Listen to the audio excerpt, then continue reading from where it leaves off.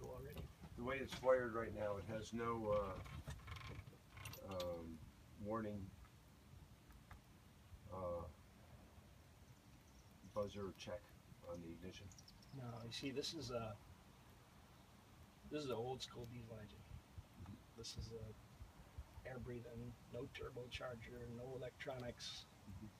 Light a fire in it and twist it, and it runs. Mhm.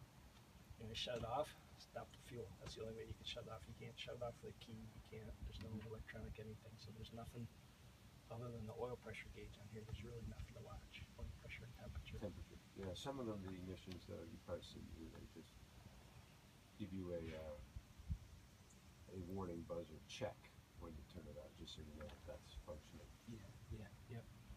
Yeah, does not. This is uh, this is pre pre that. Basic. Yeah, yeah. It's the way they.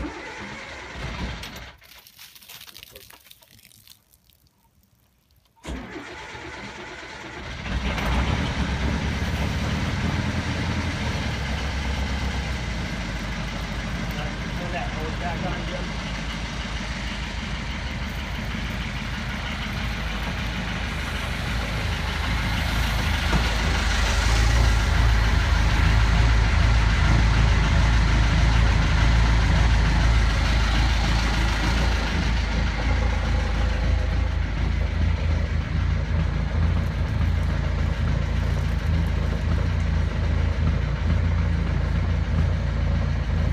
Starting to come out. Enough water yet.